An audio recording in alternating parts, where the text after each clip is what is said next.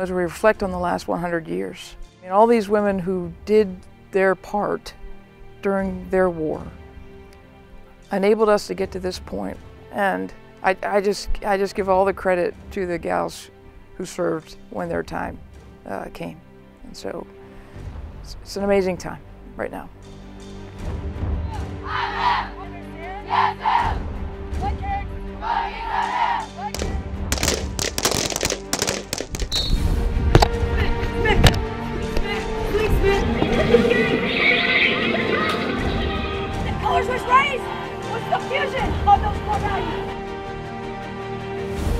There's no barrier anymore.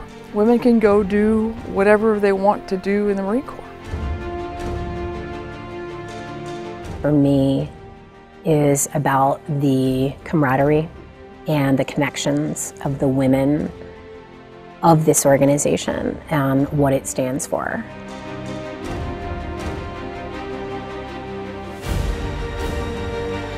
I always wanted to do the best of the best, and for me, the Marine Corps was the best.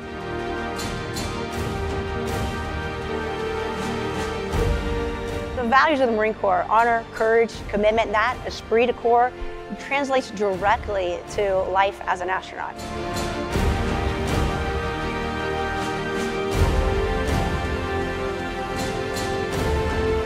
Very proud to follow in the footsteps of women before me. I couldn't be here without those women.